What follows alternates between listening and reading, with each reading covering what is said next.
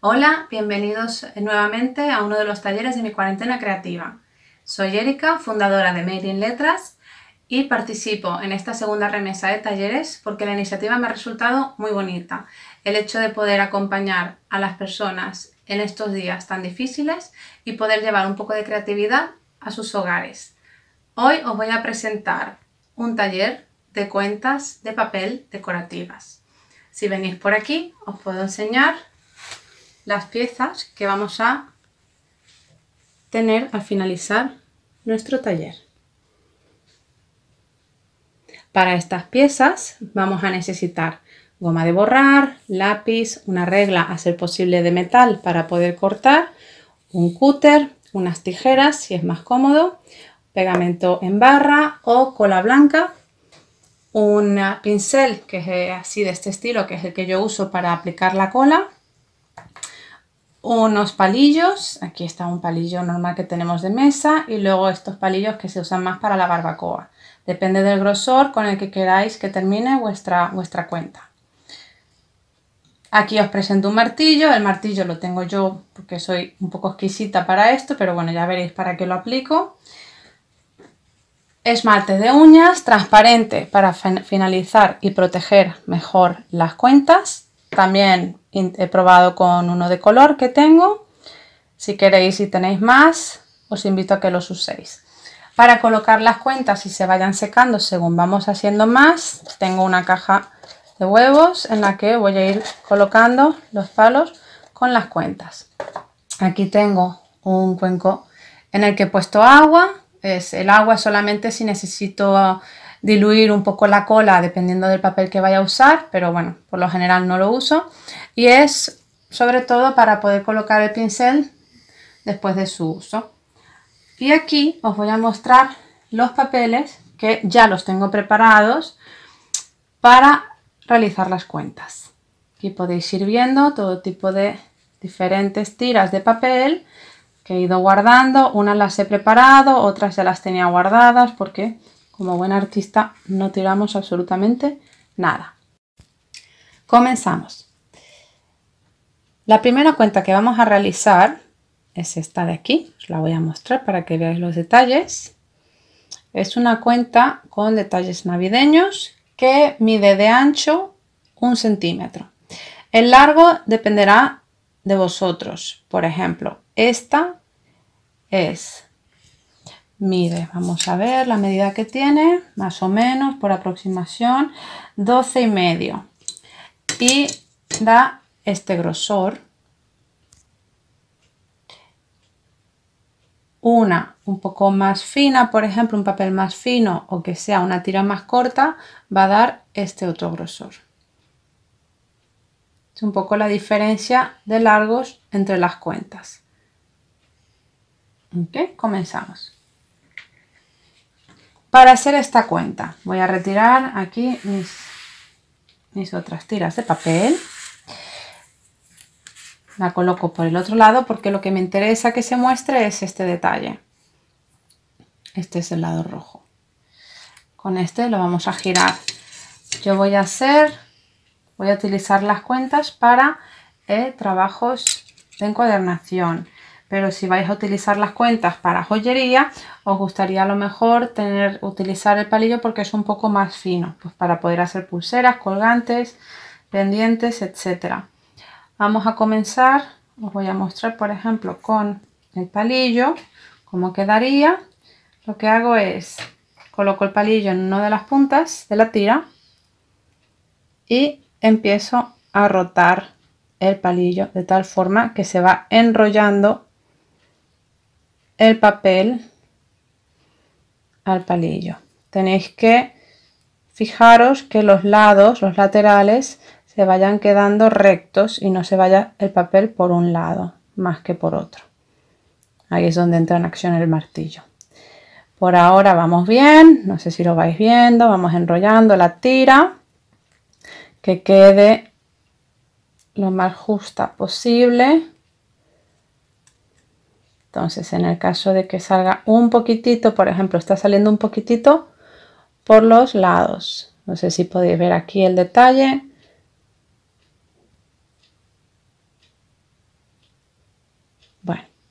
ahora lo acomodamos voy a sacar para acomodarlo saco el palillo lo acomodo un poco con los dedos meto otra vez el palillo y continúo y cuando llego casi casi casi al final aquí voy a aplicar cola. Para eso tengo un papel protector para poder aplicar la cola sin manchar la base donde estoy trabajando. Me cojo una esquinita para poder aprovechar bien el papel y vamos a aplicar la cola. Cojo directamente el de cola y aplicamos siempre del centro hacia afuera impregnando bien la tira. Ahora como siempre en esta fase me pringo el dedo de cola. Aquí tengo mi trapito para limpiar. Y terminamos de enroscar el papel a la futura cuenta. Aquí. Entonces aquí mantenemos firme un poco un tiempo vamos a darle un tiempo para que agarre bien. Si no agarra suficiente os queda una punta un poco despegada. Volvéis a aplicar cola donde necesitéis. Yo creo que más o menos ya estará. Sí vamos a seguir. Ahora para que veáis el uso del martillo que hace falta un poquito retiro el palillo con cuidado el papel. Ya no me hace falta coloco la cuenta aquí abajo y con estos dos dedos sujeto. Cojo el martillo. Este martillo no os he dicho pero este martillo está hecho es una goma muy dura no es de metal vale es para este tipo de trabajos. Y con él le doy un toque para que digamos se iguale los lados. Se ha quedado un poco más hacia afuera de uno que de otro Ya tenemos la cuenta con los detalles. Vais a ver a lo largo de, vuestro experimento que eh, qué detalles quedan mejor que otros en las cuentas. Por ejemplo este que habéis visto cómo era el papel los detalles que los tiene bastante juntos y pequeñitos se notan perfectamente, lucen en la cuenta. Por el contrario, por ejemplo, aquí tengo otro papel, esta vez lo vamos a probar por este lado que creo que resultará más bonito, pero lo intenté por el lado de las estrellas. Este otro lado, este es un papel doble, bueno, un cartón doble, que tiene unas estrellas. ¿Cómo resultó la cuenta? Ahora os la muestro. Esta es la cuenta resultante de este, de este papel. Como podéis observar, las estrellas no, la verdad es que no se perciben, no se perciben mucho. Entonces es importante, digamos, el tipo de papel que escojáis. Pero bueno, esto lo vais viendo según vayáis experimentando. Bien, ahora que ya tenemos seguramente esto bien, bien pegado acá, vamos a aplicar el baño del esmalte. Colocamos nuevamente la cuenta en el palillo y agarramos el esmalte, aplicamos generosamente. Aquí, como podéis observar, voy a ir aplicando por toda la cuenta. Bien. Volvemos a, si hace falta. Trabajad por favor en una habitación ventilada porque este malte después de un buen rato se te sube a la cabeza. Seguimos, pregnamos bien poquito más. Un poquito por aquí. Yo creo que de este lado. Y ahora le voy a colocar por este lado exterior. Otro poco para que quede bien agarrado. Un poquito más. Ok, perfecto.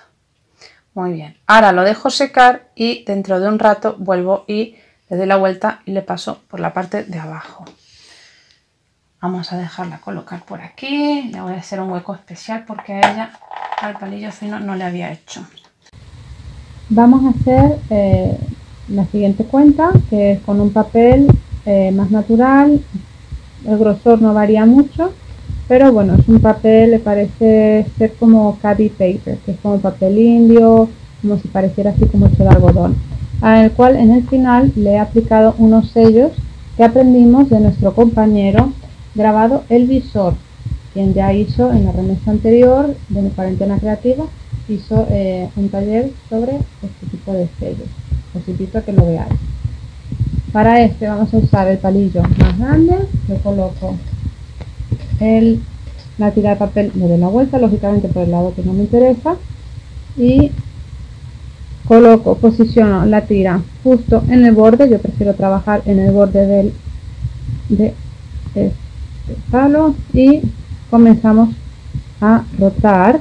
Como podéis ver aquí, comenzamos a rotar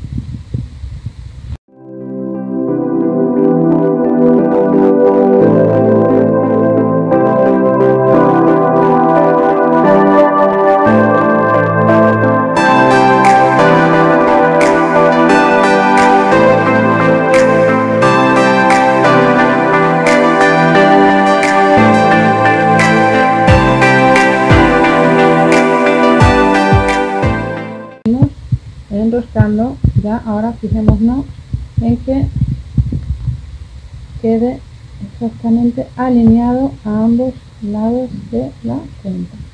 Aquí veis que se va cerrando el papel y van quedando los motivos que había estampado expresamente en la esquina de la tira. El grosor en que termina esta porque depende del largo y el grosor del papel que utilicemos. si queréis una tira pequeña, saldrá una cuenta pequeña. Si queréis una tira más larga, saldrá este tipo de cuenta, depende del uso donde queráis aplicar. Sujetamos bien para que quede bastante sellado y una vez esté sellado, aplicamos el esmalte.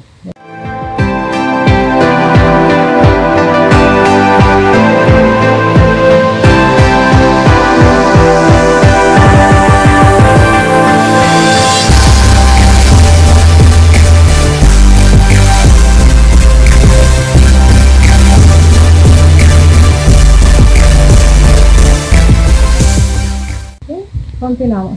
La siguiente que vamos a hacer eh, en este caso sería voy a hacer una doble. Esta vendría a ser la cuenta que luego va a terminar de esta manera. No sé si veis el detalle en el cual la cuenta por un lado es más fina y por otro es más grueso.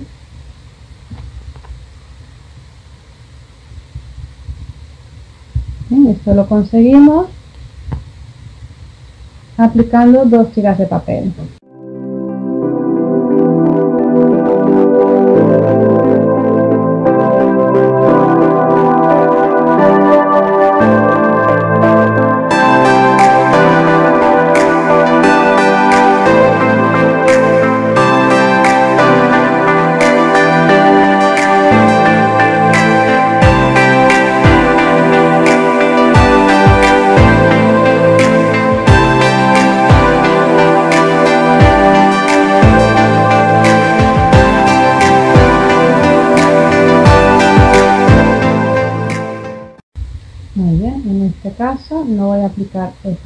Todavía voy a dejar que se seque un poco que se seque para poder después añadirle la parte por ejemplo que la añadiremos en el centro. Mientras tanto aquí un poco secando. Esto lo reservo. Os voy a mostrar un detalle diferente. Por ejemplo estas salen cuentas esta es una cuenta he dicho 2 centímetros y le vamos a añadir una de un centímetro. Ahora para hacer una cuenta que sea así en esta forma necesitamos variar el, la tira en las siguientes dimensiones aquí tenéis 2 centímetros 2 centímetros y de este lado he puesto una marca en el medio justamente en la mitad he trazado unas líneas porque en este caso más que utilizar un cúter prefiero utilizar una tijera. Voy a recortar para que veáis que va a quedar en forma triangular.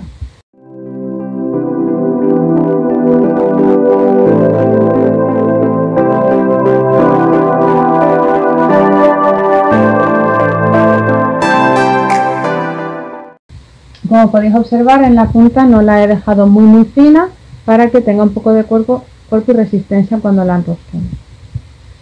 Procedemos, palo, lo pongo otra vez en la esquinita que es donde a mí me gusta, es mejor así, más cómodo, más práctico y comenzamos a nuevamente a enroscar, igual que las otras.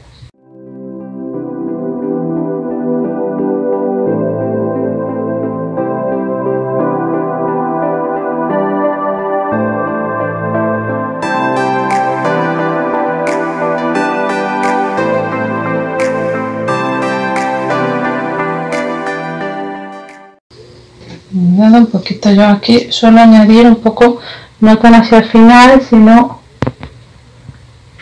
bastante más antes. Bueno, a ver si se da el caso que nos queda cola al otro lado por ejemplo aquí que es blanco el papel. No es tan terrible porque la cola ya sabemos que cuando se seca no se percibe, queda brillante y el esmalte precisamente el efecto que nos da brillante. Entonces bueno, esta cuenta nos ha salido con una forma más especial de lo que esperaba pero igual de interesante. Más tipo cono. Podéis ir probando.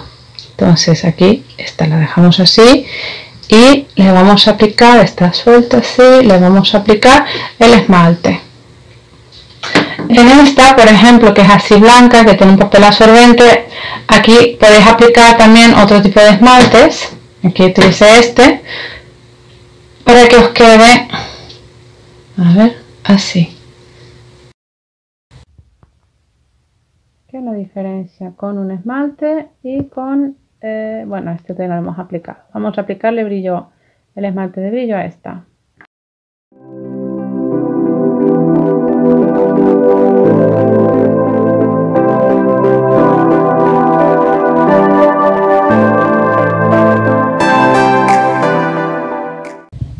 Podemos proseguir con para que veáis el efecto que hace esto que hace voy a colocar otra pieza más. En este caso donde, donde terminamos la primera aplicación vamos a hacer vamos a aplicar la siguiente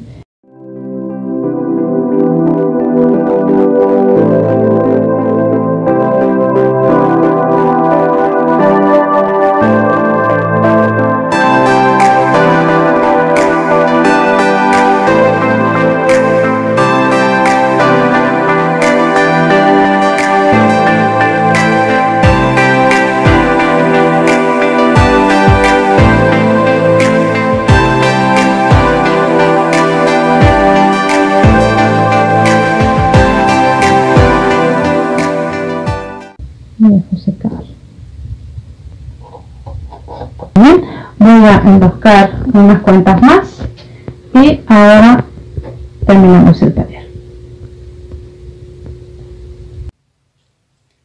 Bueno así han quedado las cuentas que hemos realizado hoy en el taller. Aquí en el fondo podéis observar la que ya había preparado gracias a el grabado el visor taller previamente realizado con sellos. Aquí a la derecha tenemos que queda con toques así un poco difuminados del método, la técnica de transfer de Cuscus Cuadernos y más adelante tenemos la cuenta del método Sentango de Mariana García Pitol. Unos detalles muy bonitos, le dan mucho carácter a la cuenta.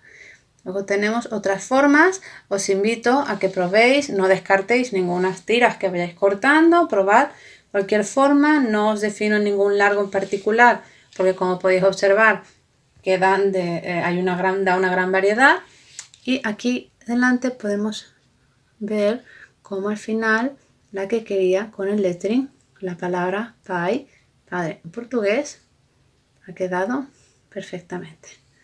Podéis observar los detalles de otras de las cuentas que habíamos trabajado, doble papel en esta, en formatos triangulares, bueno, probar papeles, probar largos, probar técnicas, pintarlas, no pintarlas, aplicar lo que sepáis y al final algunas apliqué el barniz de uña y en otras la cola blanca. Por si no tenéis barniz de uña, también vale la cola blanca para finalizarlas. Las rosas, estar atento porque las rosas tenemos un compañero que el día 23 os va a mostrar un taller muy bonito de cómo realizarlas. Mientras tanto y esperáis, mañana tendréis otro taller sorpresa y yo os volveré a ver dentro de unos días para enseñaros cómo realizar un estudio fotográfico casero para mejorar las fotografías de estos proyectos tan bonitos que estáis realizando con nosotros.